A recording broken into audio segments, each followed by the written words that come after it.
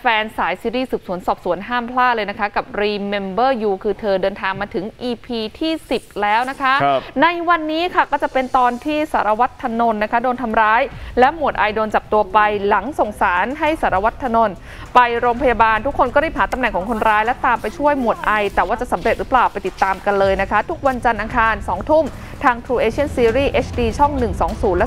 239 หรือว่าชมออนไลน์ได้ที่แพ็กเกจ True ID Plus ค่ะ